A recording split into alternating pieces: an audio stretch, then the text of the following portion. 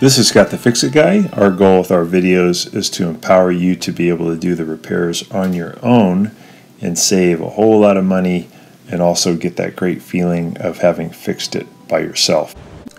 Today we have an Electrolux gas dryer that isn't heating. We're going to be replacing the primary and secondary gas coils and also testing it out too. So I'm pulling it away from the wall. I've removed the top panel by taking two screws out of the back and then lifting the panel off. So I'm making sure that the electrical connections are tight that go between the control panel and the different features of the dryer.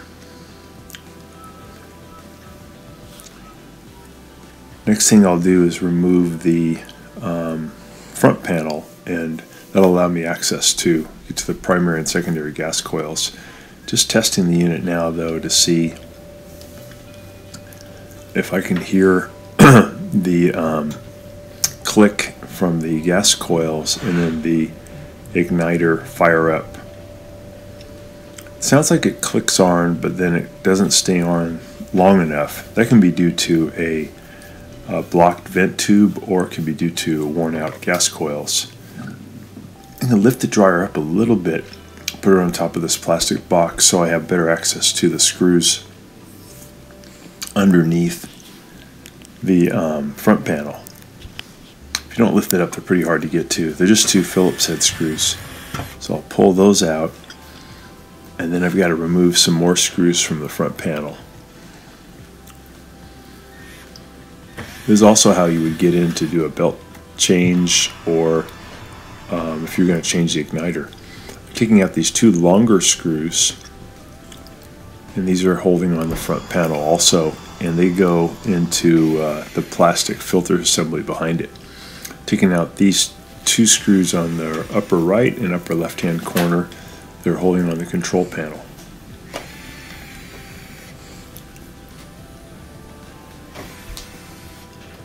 Now I should be able to rock the control panel toward me and lift up and I'm going to just kind of set that out of the way. This exposes a few more screws that I have to remove. One here in the upper left hand corner of the control panel, one in the upper right hand corner. Get those off. Now I can lift that front panel up and off of the dryer I'm just going to put it off to the side. I'm going to leave the door switch connected because I'm going to be doing a test here in a second to see what's going on. So now I'm removing these two screws at the bottom of this panel, the bulkhead, which is holding the rollers which kind of support the uh, tumbler. Take out these screws that are holding on the front of the control panel, or the, I'm sorry, the bracket that holds the controller. And now I can lift that bulkhead up and out of the way. I'm keeping its wires connected too. I'm going to reach in and press the idler wheel to the side so I can take the belt off of the motor pulley and I can pull out the tumbler. Now I have really good access to all the different parts. So I'm going to plug it back in. Be careful here because this is a live test. You have electricity flowing through the unit. I'm going to select a drying cycle and make sure that the back of the control panel, none of the metal pieces are touching anything metal. Press start and then I can hear it fire up. I'm going to look at the igniter see if it's glowing okay, and I'm going to see if I notice a flame start. It sounds like the flame starts, but then it goes out too fast. With it open like this, you don't have the fan cooling the system, so the flame won't stay on very long because the, uh, the thermal cutoff above the uh, heat tube will heat up too fast because there's no, there's no airflow. There's no fan blowing on it. So the igniter looks pretty good.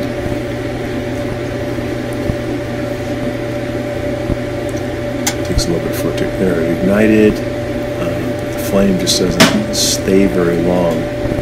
So I'm going to go ahead and remove and replace the going to unplug it first, remove and replace the primary and secondary gas coils. Pretty easy to do. Just two Phillips head screws holding in this bracket. Remove those. We'll take the bracket off and then I can pull the coil off of the assembly and then I can remove its uh, electrical modular connector. Here's the new coils. This is on an Electrolux dryer, but it's very similar to the Frigidaire dryers too. And I'm going to pull the connector off, kind of, kind of wiggle and pull at the same time. And on the stem of the uh, where the gas coil sits, there's a little metal sleeve, and I want to take that off and put it into the new gas coil that I'm replacing. It's kind of like a, a, shim that goes between the to make the surfaces uh, fit really well. And I'm going to make sure that the there's a little plastic piece at the end of this gas coil that, that points out, making sure it's pointed out to my left and then I'm going to do the same on the skinnier one. I'm going to pull it off, get the new one in position, make sure the little plastic um, nub is pointing out to my left, get that on the stem, and I'll put the bracket back on, and then I'll put the screws back in that hold it.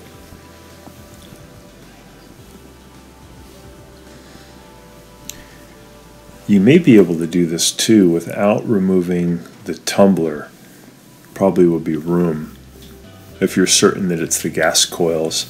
I needed to remove the tumbler, tumbler though so I could do that live test. I had to make sure the belt was off. So I'm going to tighten up those two screws holding on the bracket and then I'll put the electrical connectors for each of the coils back on, make sure it's fully seated.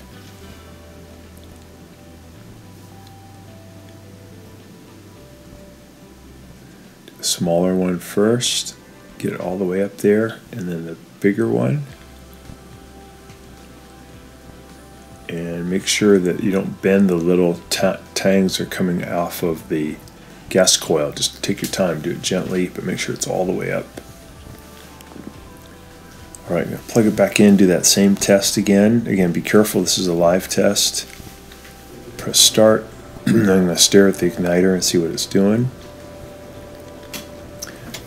Again, I have the door closed and the door switch still connected, so the dryer thinks that the door is closed and it, that'll allow it to start.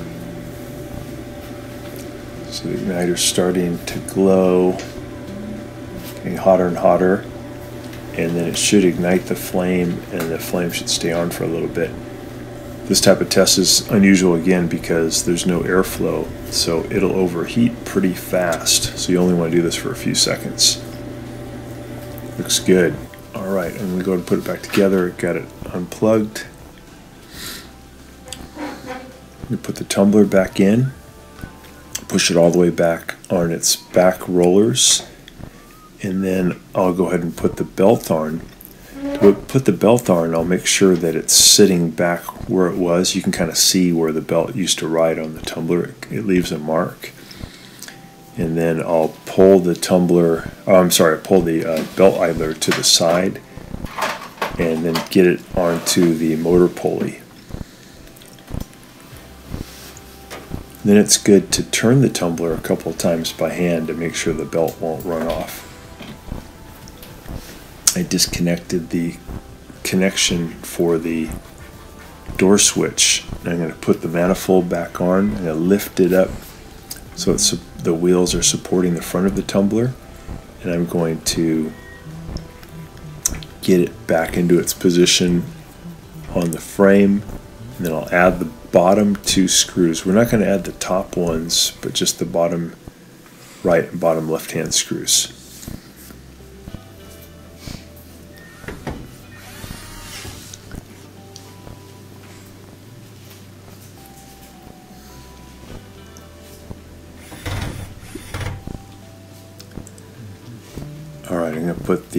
control bracket back into the front bulkhead and then add the two screws that hold it.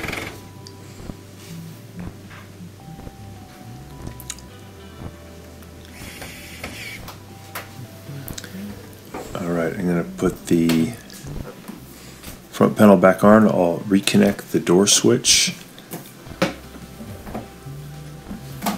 I'll get the panel in position and then I'm going to go ahead and put in the Phillips head screws on the upper right, upper left hand corner to hold the top in.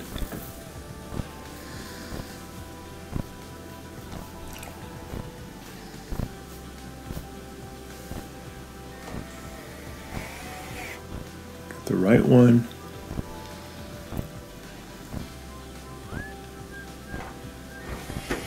There's the left one.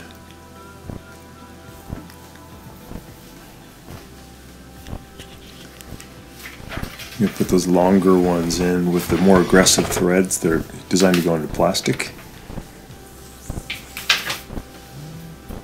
And then there's two at the bottom, so we have to lift up the dryer and put in those little two that sit at the bottom. Here's the control panel. We slide it in, and then we'll add the two screws in the uh, upper left and also upper right.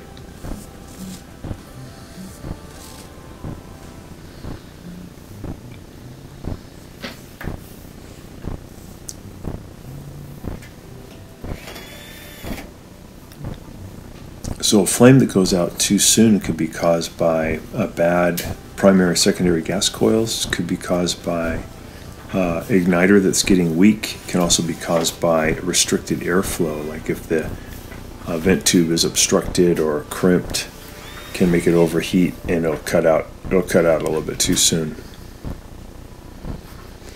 So putting those screws back in that hold in the control panel. We'll plug it in and test it out, see if it's going to heat better now. So what I'm hoping for is that it ignites, but the flame stays on for anywhere between two to three minutes. You can't see it, but you can hear when it clicks in. You can hear the flame start. You can hear the, the sound of the gas rushing in. You could also feel on the back uh, where the vent tube connects to see if you feel the hot air and that did correct the problem. So I hope it helps for you on your Electrolux gas dryer. Thanks so much for watching and please subscribe to our channel when you get a chance.